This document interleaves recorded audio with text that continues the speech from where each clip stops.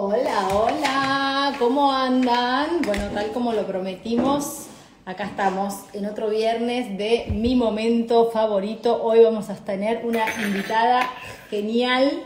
La verdad que estoy feliz de poder tener invitados semana a semana súper interesantes y que tengan que ver con el deporte y especialmente con el deporte femenino, porque hoy nuestra invitada es una gran capitana, es una genia es cordobesa, igual que yo, así que vamos a estar hablando de Córdoba también. Y por supuesto que voy a estar acá preparándome estos ricos mates con la versión hoy CBC etiqueta negra que después les voy a preguntar, a ver, acá si conocen o eh, no conocen qué hierbas compone CBC etiqueta negra. Para mí, una de mis preferidas, no sé si ya la probaron, pero a mí realmente me encanta. Bueno, voy a ver si, eh, ya todos saben, porque lo publiqué en mis historias, si la puedo conectar a Juli Lascano, a nuestra capitana de la selección argentina de vóley. ¿Cómo está pasando esta cuarentena? ¿Cómo se preparan para los Juegos Olímpicos? Lo que significó este impas con toda la pandemia, me imagino controlar la ansiedad y todo eso. Bueno, algunos de los temas que vamos a estar hablando con Juli, que vamos a ver si ya la tenemos conectada y la vamos a empezar a saludar. Saludo a todos, a Natalia, a Eskerman, a todos los que se van conectando, a Juani. Bueno, ahora la voy a invitar a Juli. Acá la tenemos a Julieta. Vamos a ver si, si conectamos con ella rápidamente. Ahí está. Hola, Juli. ¿Cómo estás? Ay, bien. Te veía muy, muy bien recién y dije, ay, no me quiero conectar y cagarlo porque te, te estaba viendo perfecto. Mi internet por ahí anda medio mal. Bueno, no te preocupes porque a mí me pasa exactamente lo mismo. Viste que a veces pasa que, que bueno, Internet nos juega una mala pasada, pero es esta época, me parece que, que con la cuarentena está todo el mundo conectado, es un poco imposible. Sobre todo a, esta hora, ¿no? A esta hora de las todo el mundo está conectado, sí. Le vamos a poner actitud para, para poder charlar un rato. Bueno, hola chicas, dice ahí Pablito. También, te vi ahí Muy bien, me encanta. Como yo digo, digo mis invitadas, chinchín de mates para, para, empezar la charla. Bueno, Juli, la verdad que tengo un montón de cosas para, para preguntarte, para hablar con vos, eh, pero bueno, vamos a arrancar quizás eh, dentro de esta pandemia por lo que significó para ustedes y cómo manejaron el tema de la ansiedad teniendo en cuenta que era un año de ni más ni menos que Juegos Olímpicos. Y mira, yo creo que en realidad el equipo no le afectó tanto, o por lo menos no lo manifestaron de alguna manera porque para nosotras era muy importante obtener la clasificación. Y ya teniendo la clasificación en mano, decís, bueno, se hace ahora, se hace un año después, o cuando se tenga que hacer, vos ya sabés que tenés la clasificación en la mano y es como lo mismo, bueno, será esperar un poquito más. Así que siento que, que, que de nada, organizarnos y ver, entender también de que nada, que la salud era obviamente lo primero, que en esas condiciones no se podía hacer, y bueno, fuimos creo todas muy razonables y decir, bueno, la prioridad es la salud y, y, nos, y nos mantuvimos todas físicamente bien. Bueno, ahora muchas chicas se fueron a los clubes, yo sigo acá en Córdoba, pero, pero nada, no, se nos atrasó un año nada más. Sí, bueno, es un poco hablar de, todo este proceso, de lo que significó. Quería empezar de alguna manera por el final. Eh, interesar acá el plano porque si no está yendo para cualquier lado, ahí está. Quería empezar de algún modo por, por el final, que era eh, saber que tenían esta tan ansiada clasificación, pero además vos sos parte de una generación que empezó a vivir como un hito histórico para lo que es la selección femenina de volei, porque fuiste de las poquitas que quedaron que consiguieron la primera clasificación a una cita olímpica que fue Río en el 2016. Sí, es, verdad. es verdad, sí. Eh, recontra orgullosa, siempre digo, de, formar parte de, de, este grupo y del grupo anterior, porque ya vienen hace muchísimos años viene este proceso de las panteras y también el momento en el que la gente empieza a reconocer un poco más quiénes son las panteras, porque antes, si bien hay mucha gente que todavía, que no es un volei, desconoce un poco, cada vez se siente un poco más el nombre, y eso es gracias a los resultados que se fueron consiguiendo. Así que sí, tener una doble clasificación fue como cerrar ahí como un bucle, bueno, un poquito más para, para esto, de, esta historia que se viene escribiendo en el vóley femenino en los últimos años. Hablando de eso, un poquito de lo importante que fue ese enero del 2016, cuando consiguieron finalmente el cupo a la primera cita olímpica, se venía Río, y por ahí nosotros nos pasa mucho que hablamos por ahí con los deportistas de digamos, de cómo se vive ese primer juego olímpico, porque es como una mezcla de sensaciones, ¿no? Si se llega a disfrutar, porque por ahí por un lado está toda la ansiedad de conseguir por primera vez en la historia, no sabes si se va a repetir, entonces como que no te querés perder nada, y de alguna manera me parece que es como complicado poder focalizarse también en dar al 100% en lo deportivo. Claro, mira, yo te puedo contar un poco lo que fue mi experiencia en lo personal, Estoy segura que no todas las jugadoras o los jugadores lo viven de esa manera, pero creo que a todos nos debe pasar la primera vez esto. Es como que llegás y sentís que estás en el Disney del deporte, es como que, viste, cuando sos chiquito y, y estás sorprendido todo el tiempo por todo lo que va pasando. Cada una de las situaciones es llegar, ver la villa, ver los todos los edificios con las banderas, vas tratando de reconocer, vas viendo si conoces a algún jugador de otro lado del mundo, te encontrás con amigos, cuando, por ejemplo, yo que hace mucho juego en el extranjero, era encontrarme con gente toda junta de repente en un mismo lugar. nada, y después estar todo el tiempo en contacto con la prensa, eh, todo, todos juntos, y lo que significa aparte lo que es el olímpico para todo el mundo, imagínate para un atleta, son muchas sensaciones difíciles de, controlar, digamos. Es como que hay que experimentarlas una vez para entender lo que se siente, porque se siente mucho. Así que bueno, yo lo viví de esa manera, como que me costó mucho después en la parte deportiva poder focalizarme porque tenía muchas distracciones. Y al ser la primera vez, eh, nada, eh, yo recuerdo siempre cuento que salí a la cancha, pisé la cancha y sentía que estaba flotando y digo, o sea, ¿cómo voy a hacer para jugar con esta sensación en el cuerpo? ¿Viste? Eran como hormiguitas en los pies. Así que bueno, nada, eh, yo siento y espero que los próximos Juegos Olímpicos, al haber atravesado ya toda esta experiencia, sea diferente, ¿me entendés? Me imagino, y además en esta oportunidad vas a tener un poco la responsabilidad de, de alguna manera, poder trasladarles esa experiencia a las más chicas, a, las que vinieron a renovar y a ponerle un poco de frescura al equipo, para que, bueno, traten de, capitalizarlo, pero sin, sin que se distraigan. No sé si es posible, pero al menos intentarlo, ¿no? De alguna manera, más allá de que sos la capitana, me imagino que vas a ser como un poco vos y, tres o cuatro jugadoras más que me parece que, quedaron de esa camada, eh, las referentes, ¿no? De todas las demás. Sí, un poco creo que ahora puedo hablar desde lo que vivimos en, en enero, que fue la clasificación a nosotros nos pasó un poco esto, era todo el tiempo hablar con las chicas y decirles, che, eh, si no están nerviosas, pónganse nerviosas antes porque les va a pasar tal y tal cosa cuando juguemos ahora en la cancha de Colombia, pues estábamos en Colombia. Claro, sí, sí, en este, Colombia. Claro, era sentarnos y contarles lo que habíamos vivido, cómo nos, cómo nos había sucedido cuando ganamos, lo que habíamos pensado antes, después, y charlar mucho desde ese lugar con nuestras compañeras y prepararlas para lo que iba a ser obviamente hay que vivirlo, porque es como te digo, tú o podés estar muy listo, pero tenés que experimentarlo también. El tema es que, bueno, que las chicas estén listas para esa situación. Mira, ahí justo se conectó Agustín Vidal, que es un amigo de, los gladiadores, que, que, es un genio, él estuvo ahí conmigo en los Juegos, en los Juegos Olímpicos, pasamos muchas cosas nosotros juntos. Él sabe lo que estoy hablando. Sí. Le podemos decir que que comparta, que comparta también su, su, experiencia por acá por el chat y la vamos compartiendo con todos los que se van uniendo eh, a, esta charla y lo podemos agendar para la próxima también entrevista de estos momentos favoritos. Eh, Juli, en eso lo que... Eh, no, no te va a dejar hacer vivo. Es muy gracioso, Agustín. Eh, quería preguntarte esto que vos me decías, ¿no? Eh, empezaste el año con un desafío impresionante que era conseguir esta tan ansiada clasificación, además se da que es de manera consecutiva la que habían obtenido por primera vez las, banderas, con todo lo que esa responsabilidad significaba. Eh, después de haber conseguido una medalla, la primer medalla también para esta selección, son muchas cosas fuertes que está viviendo este equipo. ¿Cómo, cómo lo fueron transitando? ¿Cómo lo van capitalizando? Y no sé, yo eh, como que dejo que, fluya, no, no lo pienso demasiado en ese sentido.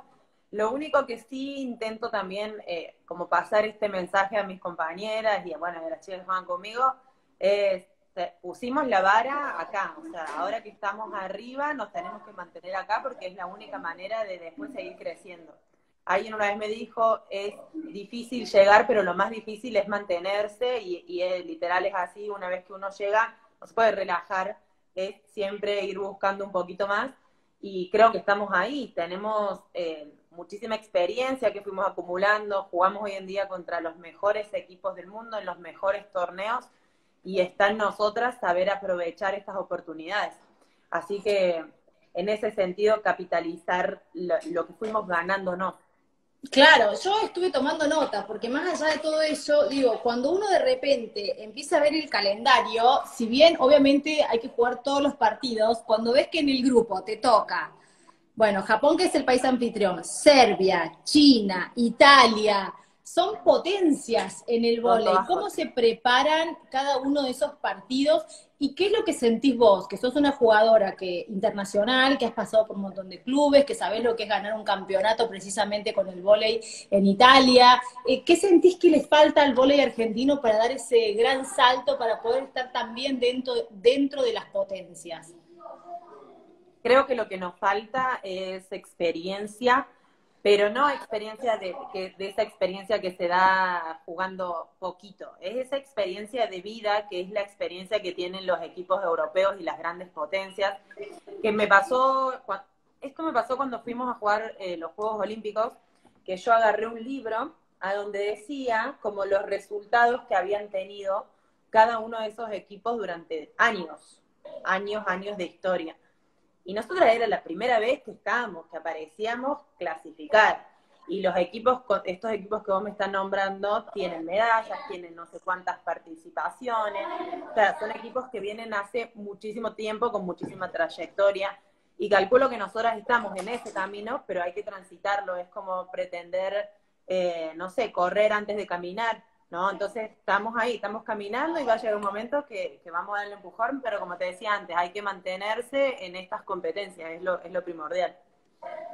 Y, y, sabiendo eso y poniendo los pies sobre la tierra, que, que por ahí te veo muy firme en cada una de, digamos, de las respuestas que me vas dando y cómo vas proyectando tu carrera, me parece que un poco podemos hacer como la similitud con lo que le pasó a las chicas en el fútbol femenino cuando fueron al Mundial el año pasado, ¿no? Que aunque no lograron la clasificación, el conseguir el primer punto fue un gran paso, el que no las golearan fue otro gran paso, el poder jugar de igual a igual, como que los objetivos son diferentes, ¿no? Eh, y, ellas lograron transmitirlo incluso acá, a la Argentina, a la sociedad, porque todo el mundo estaba recompenetrada en cada uno de los partidos de la selección femenina, lo que no pasaba hacía, pasaba hacía mucho.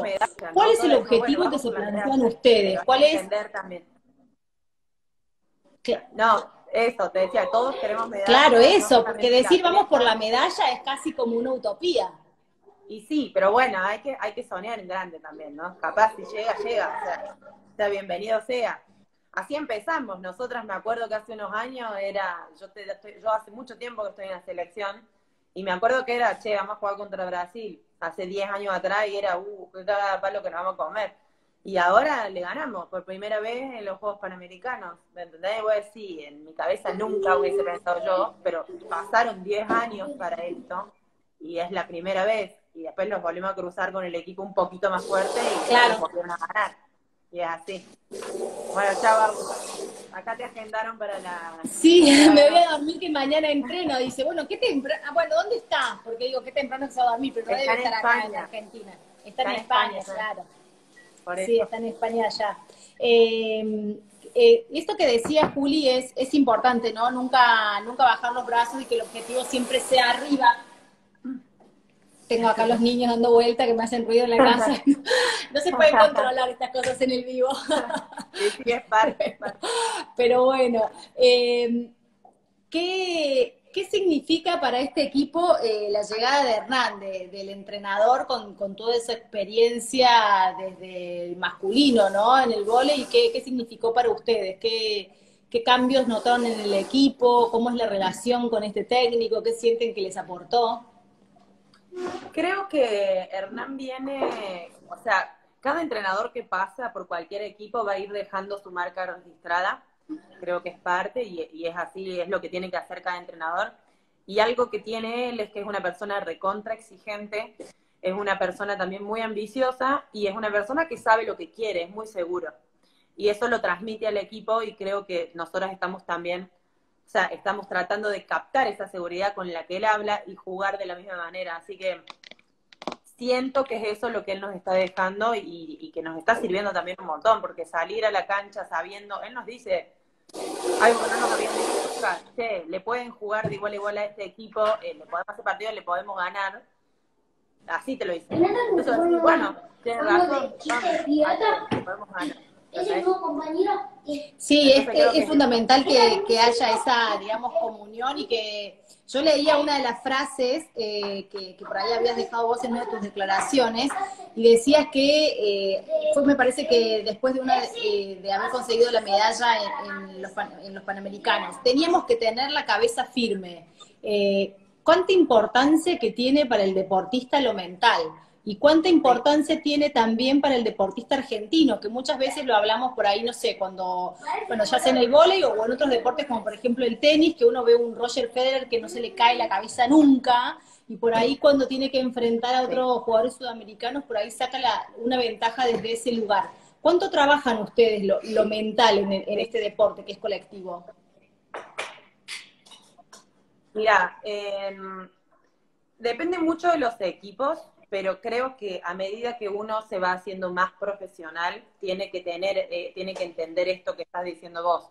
La cabeza para mí es, te diría, un 70% del rendimiento del atleta y aprender a trabajarla, digamos, para poder hacer diferencia, porque todos podemos llegar a un cierto nivel con mucho entrenamiento, ¿no? Pero no, o sea, con el talento o con lo que aprendemos no nos basta, siempre hay que hacer un poquito más y creo que una de las partes es desarrollar con diferentes tipos de herramientas, puede ser psicólogo deportivo, puede ser, eh, no sé, yo hago yoga, meditación, visualización, etcétera. Eh, ahí está Elina, mi compañera. sí, ahí la eh, estaba, estaba leyendo. ¡Qué uñas hermosas! Dice. Me las hice hoy. Y podemos hablar de tu parte coqueta. entonces es recontra importante, así como cada una de las de las herramientas que uno decide utilizar. Eh, tanto lo mental como puedo decirte también la parte, eh, no sé, nutricional. El atleta que decide empezar a cuidarse de determinada manera también puede sacar un poco de ventaja desde ese lado. Eh, aquel que decide hacer otro tipo de deporte para complementar. Bueno, hay muchas, hay muchas herramientas que uno puede usar para tratar de siempre estar un pasito adelante.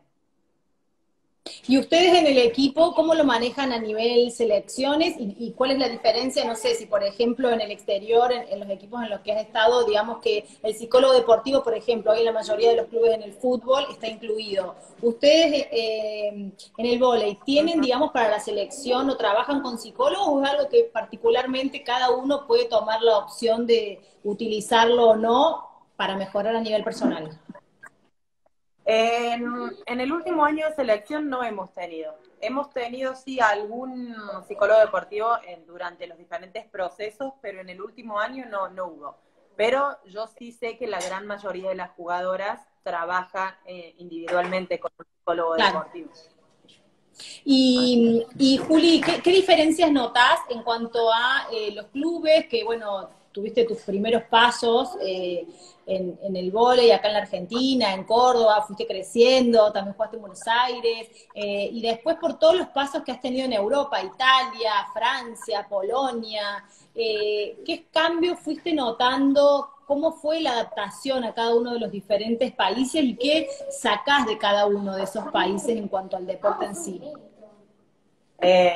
bueno, de, Italia, que es el, que es el primer país a donde me fui, saco, saco la liga, creo que es una liga modelo, en una liga muy profesional, en, la cual tiene un nivel de volei táctico, porque son increíblemente tácticos e inteligentes a la hora de jugar que creo que me quedo con eso. No solamente en Italia, yo tuve un entrenador italiano que, con el cual estuve en Francia, que también me, es lo, cuando estuve con él fue cuando más aprendí a jugar al vóley, pensando, digamos. O sea, esto no es porque sí, es porque tácticamente se juega de esta manera por esto. Eh, después, mucho scouting, ¿viste? Podés estar horas y horas haciendo videos, ¿viste? Comida de escuela, escribiendo, escribiendo, escribiendo, escribiendo, escribiendo. Eh, después, con, la gente de Francia, lo que saco es que es una liga recontra profesional, pero profesional en el sentido de país. O sea, uno tiene sus aportes, tiene una seguridad económica no, no alta a nivel de salario, pero sí vos sabés que si te quedás sin club por lesión o por lo que sea, te van a pagar desde el gobierno, tenés dos años para volver a conseguir trabajo, o sea, empleo, que nuestro empleo es el deporte. Eh, así que de Francia me quedo con esa seguridad. Eh, de Brasil me quedo con la fuerza de las brasileras, porque son pura fuerza, potencia y, y no, o sea, es el lugar que más entrené en mi vida, todo el tiempo entrenando. Era triple turno, entrenamiento todos los días. O sea. De Polonia no me quedo con mucho, no me gustó mucho la experiencia en Polonia, pero bueno, aprendí que uno, eh, nada, la fortaleza que uno puede tener en esas situaciones. Claro. Y de Argentina me quedo con la garra, porque jugamos como esa garra, con pasión, remándola siempre desde abajo, lo que sea, pero siempre hay algo más.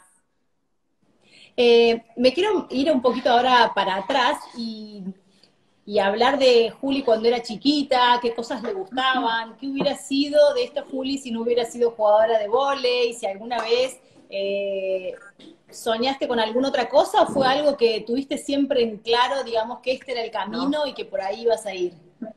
No, no, ni idea. No, yo hacía gimnasia rítmica antes de jugar al vóley, eh, pero no, no, no sé, no, no, empecé a los 14 recién, o sea que ya era más o menos grande cuando arranqué y no ¿Y quién te llevó? ¿Por qué, ¿Por qué empezaste a jugar al volei? Y porque mm, estaba necesitando cambiar de la gimnasia rítmica por una cuestión de horarios del colegio y eh, caí en el volei y fue peor porque tuve que cambiarme de colegio, no me fui al extranjero, o sea, fue, o sea, fue todo un cambio de vida. Pero mm, pero no sé qué hubiese sido si no hubiese jugado al vole. Creo que psicóloga. Todo el mundo me dice que soy muy psicóloga. Tipo, me encanta escuchar, hablar. Eh, bueno, yo hago terapia, pero no doy terapia, no estudié psicología. Pero tengo muchos amigos que me dicen, che, vamos, eh, me estás haciendo terapia en este momento. bueno, para la próxima empezás a cobrar, Juli, honorarios, no. ahí, ahí se conectó Bruno Lavaque sí, acá estaba leyendo, contale a Ali que estás por arreglar en Atenas para jugar al volei. Me parece que es un poquito de presión que está metiendo por ahí, Bruno. Sí, Bruno se conecta a todos los vivos para, para decir esto. Para presionar. todavía no lo decidí porque falta para la Liga Argentina. Es en enero recién, supuestamente. Todo depende del contrato, le podemos decir a Bruno, que, que ajuste el contrato. Claro, en momento, en vivo, así, para meter presión. Claro, si él pone presión, nosotras también, le redoblamos la apuesta. Así es. Eh, Juli, ¿qué, mm, ¿con qué sueña eh, esta, esta capitana? ¿Con qué, ¿Con qué se acuesta a la noche eh, y, y qué es lo último que piensa al cerrar los ojos?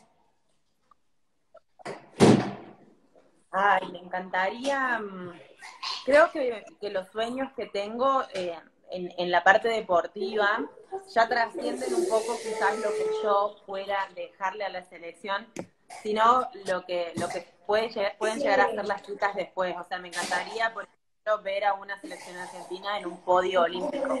Sería como un sueño que sé que no me dan los años. Algo que bueno, como entrenadora quizás, ¿te ves en ese perfil, ya que todos te ven como muy psicológica y demás? No, no, no, no, no creo. No. creo. O sea, haría lo imposible porque ganemos la, medalla en los próximos juegos, ¿quién te dice? Pero, pero sí, me encantaría eso. Si no, es, si no soy yo, que sean las que vienen y así. Y mm, vamos a meternos un poco en esto de que, mm, de que hablamos hace un ratito, que arrancamos acá las dos eh, tomando mate y compartiendo de este momento, y preguntarte eh, en este que yo siempre digo que es como mi momento favorito de, la tarde, cuando uno se sienta, se pone a tomar mates y demás, ¿quién te trasladó esta, esta tradición? ¿En tu casa tomabas mate de chiquitita, empezaste más grande, no sé, estudiando, con amigas? ¿Te acordás a qué edad empezaste a tomar mate? Sí, creo que mm, en el colegio, ¿viste? Cuando uno, eh, yo era muy de quedarme estudiando hasta tarde y era esto, como que, bueno, mate, acompañando el estudio siempre. Y después cuando me fui a Italia y eh, por primera vez yo tenía 18 también, era como recontra compañero, ¿viste? Eh, me acuerdo que con mi amiga nos sentaba, estaba una amiga que era argentina y era mate todo el tiempo, después cuando me voy sola, recontra compañía. Para donde voy, la playita o pasear donde sea, me llevo el mate porque es una buena compañía. Eso iba a preguntarte, ¿con qué sentimientos te conecta eh, el mate? Y mm, es muy tradicional, es ese poner la yerba a la mañana para levantarse, prender la pava, es como la motivación. Bueno, estás en la cama, no te querés, no te querés levantar y decís, bueno, voy a poner la pava pero unos mates. No sé, a todos nos debe pasar. Eh, es esa sensación como la ¿Sos de la que tienen el ritual? ¿Sos de la que tienen el ritual, eh, tipo, hay como una manera de hacer el mate, no sé? Yo soy como muy básica, siempre, es más, como yo siempre digo, no tengo ni yerbera, ando con la cajita o el paquete, tiro la yerba, pongo y empiezo a cebar y me tomo el mate, o sea, pero tengo un compañero, por ejemplo, en el laburo que dice, no, no, Alejandra, el mate, no sé, no bate, le ponen para el claro. primero agua caliente, después agua fría, no sé, o al revés, primero agua fría, después agua caliente. Eh, ¿Tenés como un ritual o sos así como más empírica, digamos? No. no, o sea, que salga como salga. O sea, hay veces que, aparte, cuando uno está afuera y que no tenés tanto acceso a la yerba, ponele este tipo de mate que tengo ahora, no hay forma de llenarlo. Tenés que estar con los mates chiquititos. Más chiquititos para amortizar. Claro. Tengo amigas que hasta han, o sea, reutilizado la misma yerba porque para no quedarse sin, ¿entendés? Entonces ya en ese momento es sobrevivir con lo que se tiene y ya se pierde todo tipo de, costumbre. todo, todo, tipo de ritual. si tuvieras la oportunidad de, de sentarte a tomar un mate con alguna figura pública, lo que elijas, de, no sé, deportista, actor, actriz, político, no sé. ¿Con quién te gustaría sentarte a tomar un mate? Eh, argentino tendría que ser para que tome mate o no. Sí, o uruguayo también, capaz que hasta Uruguay llegamos. Después no sé, porque no sé si tomarán todos, pero bueno, supongamos que sí. Y invitaría a tomar mates a la Peque Pareto, porque sé que es una, una mujer eh, que, representa hoy en día, hay, hay no hay muchas mujeres líderes en el deporte, cada vez hay más, pero es cierto que cuando uno habla de líderes generalmente habla de hombres y me, me parece una, una figura que es recontra importante en Argentina, no solamente por sus logros, sino por todo lo que piensa como, como atleta, como persona, es médica también, o sea, sé que es una persona con la cual me sentaría a hablar y le haría un montón de preguntas eh, y, sería una charla muy, muy, muy amena y ella es recontra humilde, que me parece que, es lo más importante también para una persona que ha conseguido todo lo que consiguió ella. Y, por último, para terminar este tema del mate, después seguimos charlando de, toda tu carrera, ¿con quién sería la primera persona que, irías a tomar eh, mates cuando se permita con esto de la cuarentena? Viste que lo que menos podés compartir es un mate. Se termina la cuarentena, te dicen, bueno, te liberamos. ¿Con quién sería esa persona que te juntarías a tomar mates por primera vez? Eh, con una amiga mía de Buenos Aires, eh, Iriel, que es la kinesióloga. No, no sé si está conectada, debe estar trabajando. Eh, pero sí, con ella. Aparte, hace unos mates excelentes. Es la típica que llegás al vestuario y lo primero que hace es mate, ¿eh? listo para vos seas muerta, que te tenés que entrenar a las 8 de la mañana y ella te está esperando ahí con el mate siempre y la buena onda. bueno, acá veo que todos están prendiendo con el tema esto del mate, mate bueno solo en Uruguay con ritual, dice por acá Ricardo. Bueno, no lo vamos a, no, no estamos con vos, Ricardo. Mate Uruguay, Argentina, en todos lados, el mate vale en todos lados el mate vale. Eh, Julia, hablábamos esto de la cuarentena, de cómo tuvieron que mantenerse el entrenamiento. Hoy miraba un poco tus redes, tus historias. Vi que estás entrenando también con Cami, que es eh, jugadora de fútbol, de, que juega en San Lorenzo. Sí, sí, eh, que ahí las dos cordobesas. Ayer, ayer, ayer, entrenaron, entrenaron juntas. Eh, ¿Cómo estuviste manteniendo esto de entrenar? Porque además me imagino que el hecho de no poder jugar en equipo debe ser como bastante complicado para ustedes cuando es una disciplina grupal y no individual, más allá de tratar de mantener el estado físico, y que igual no debe ser lo mismo. ¿Cuánto tiempo les, lleva, les va a llevar a ustedes poder volver a recuperar eh, el ritmo, por así llamar manera, el ritmo de competencia, de, la exigencia que tiene tener que disputar una disciplina como tiene que ser competitiva, como puede llegar a ser un juego olímpico. Mira, yo te doy mi, opinión, capaz que le erro en esto, pero me parece que, que no nos mucho tiempo. Cuando yo voy a, a, Europa, muchas veces pasa que hay jugadoras de, de mi club que no son jugadoras de selección. Y durante todo el periodo de selección, que en el volei es recontra largo, que vendría a ser todo este periodo que hemos tenido de cuarentena ahora nosotros, muchas chicas están sin, sin, jugar durante todo ese tiempo. Y se ponen a entrenar pretemporada y arrancan y arrancan con todo y a las tres semanas, ponerle un mes más o menos, ya estás saltando y ya estás empezando a hacer todo lo que son los trabajos de, equipo. Sobre todo que nosotros estamos muy acostumbrados, bueno, al igual que en fútbol, eh, por ahí digo de fútbol porque mucha gente conoce más el fútbol que el vóley, eh, es lo mismo, cambias de equipo, pero sigue siendo el mismo deporte y es adaptarse a, las nuevas reglas del equipo, pero sigue siendo lo mismo, o sea, es el mismo deporte. Así que eh, creo que no. Que no va a ser tan perjudicial desde ese punto de vista, digamos. No, no, creería que no. No. Eh, Juli, eh, ¿cómo sigue la agenda ahora? Bueno, los Juegos Olímpicos se atrasaron un año, eh, pero a partir de, cuándo piensan ustedes, o no sé si ya han tenido reuniones y ya les han informado cuándo puedan volver a, los entrenamientos, y, cómo sería la agenda de las Panteras de acá a los Juegos Olímpicos. ¿Tienen algún panorama más o menos claro? No, para nada. lo único que sabemos es que en mayo seguramente nos vamos a juntar yo calculo que será en el CENAR nuevamente y no se sabe que, mm, bueno, creo que no, no hay nada, o sea, no hay nada confirmado antes, seguramente se haga alguna una gira amistosa o algo. Eh, y otra cosa que nos informaron es que quizás si esto se flexibiliza un poco, eh, nos podamos juntar las que nos quedamos acá en Argentina, que no somos tantas porque hay muchas que se fueron ya al extranjero, pero las que estamos acá quizás nos juntemos a entrenar en algún momento en cuanto se pueda. Claro, ¿y qué cosas, eh, saliendo un poco así del deporte, eh, te elogiaban las uñas hace un rato? Yo me imagino que cuando estás jugando las uñas no las podés usar así, por eso te estar dando el gusto ahora en la cuarentena de tener las uñas como te gusten. Sí, así. no, no forma. Aprovechar al máximo, hacer todo lo que no se puede hacer. ¿Cuáles fueron los permitidos de esta cuarentena? No sé, un huevo frito, esas cosas, digo que a veces uno sabe que cuando está en alta competencia no se puede salir de la dieta, del nutricional. Eh, ¿Cuáles fueron los permitidos de Juli en esta cuarentena?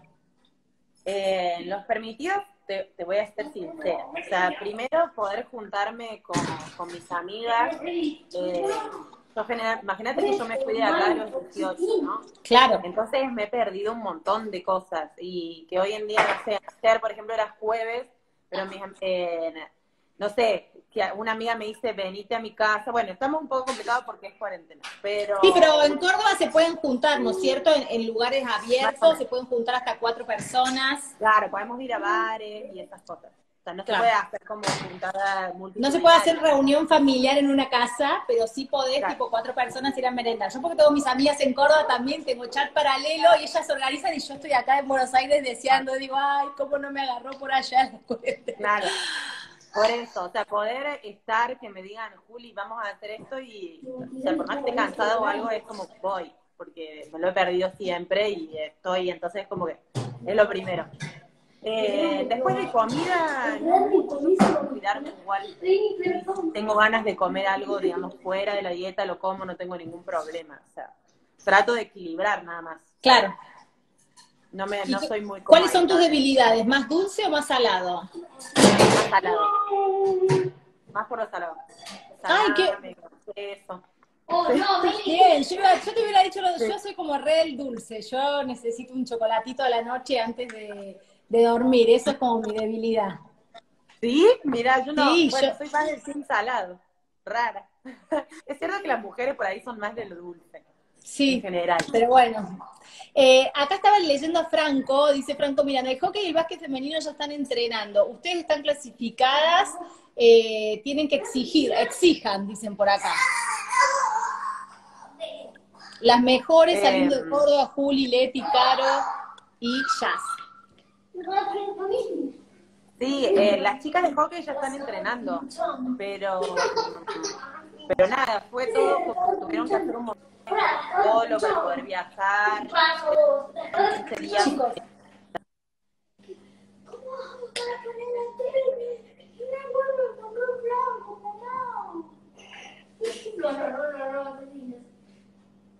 Se nos cortó, a ver. A ver si la recuperamos a, a Juli, que bueno, la verdad estábamos charlando de todo. Estamos charlando de todo, a ver si la recuperamos. Chicos,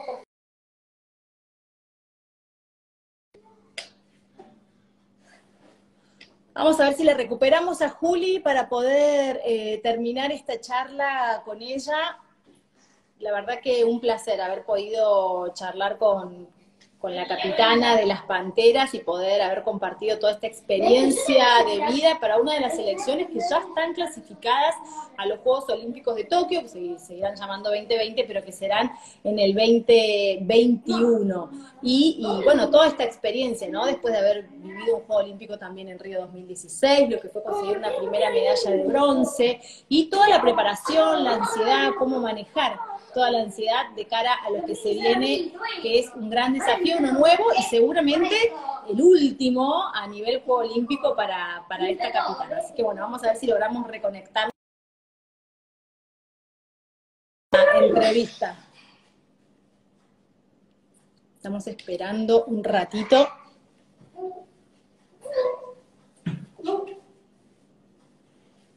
Mientras que yo intento, a ver, seguir conectando. A ver ahí.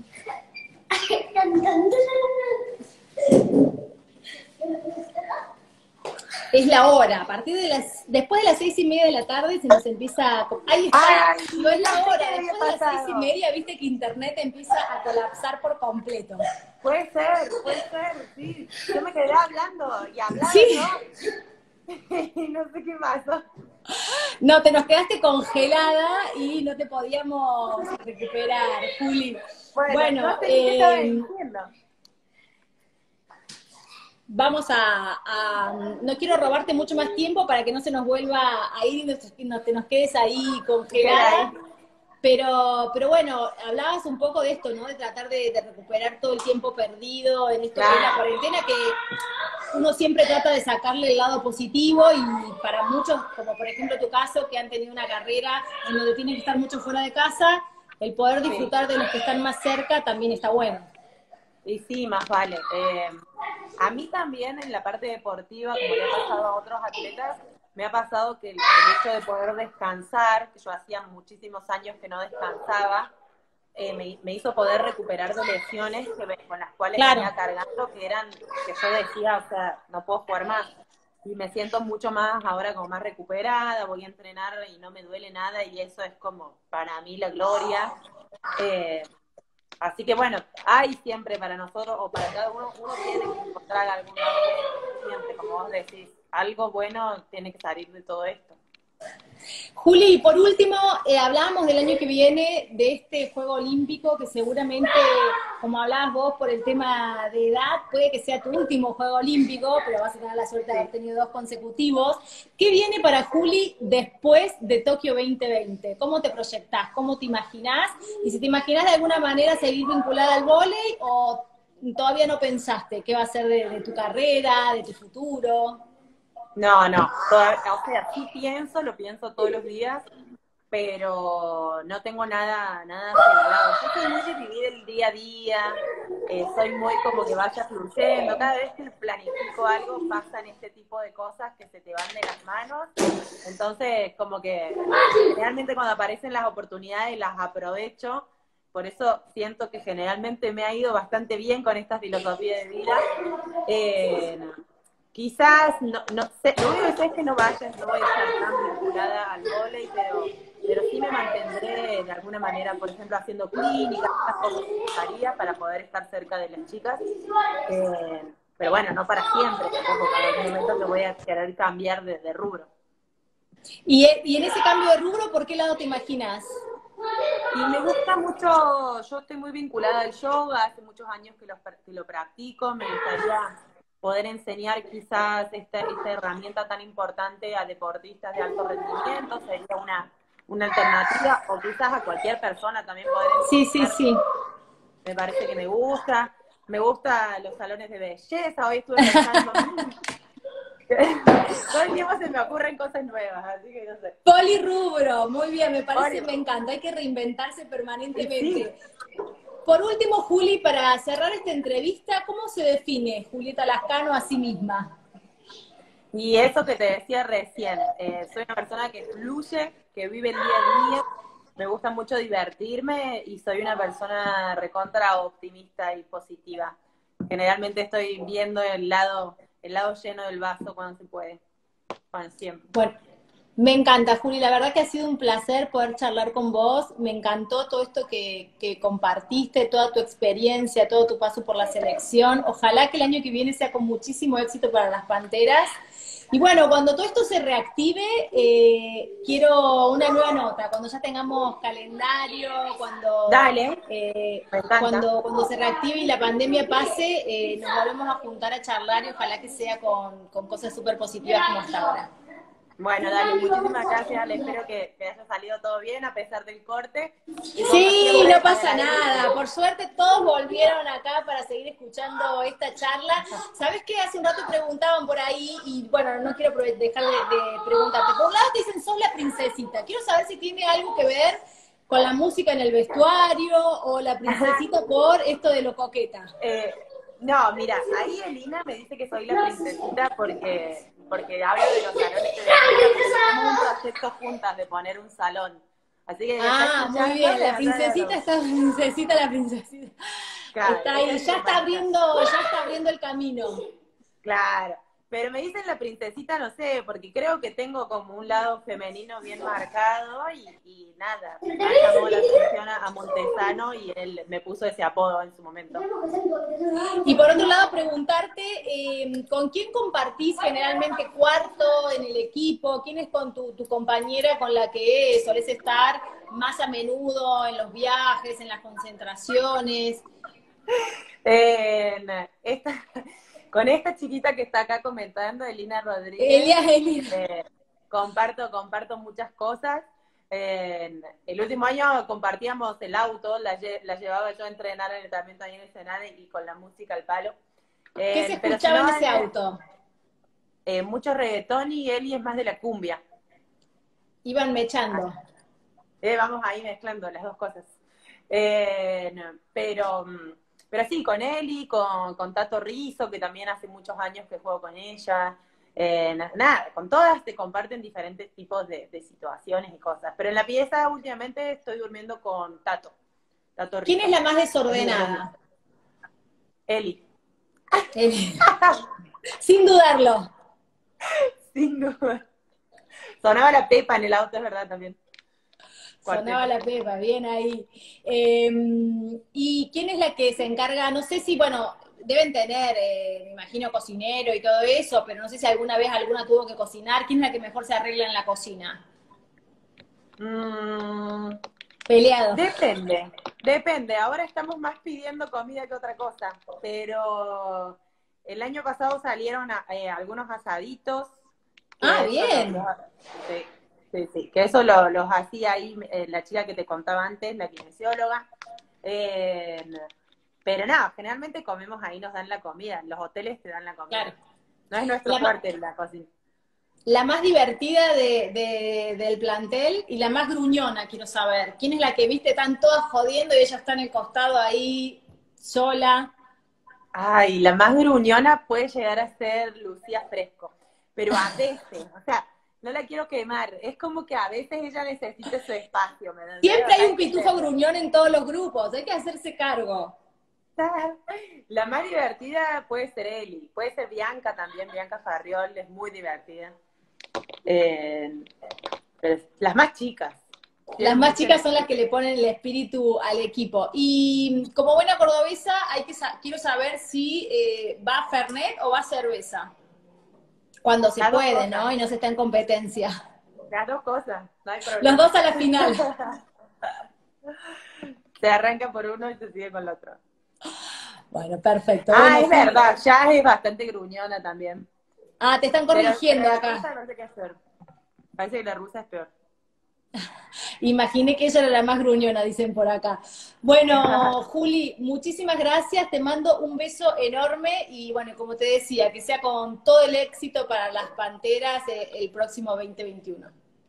Bueno, muchísimas gracias, Ale.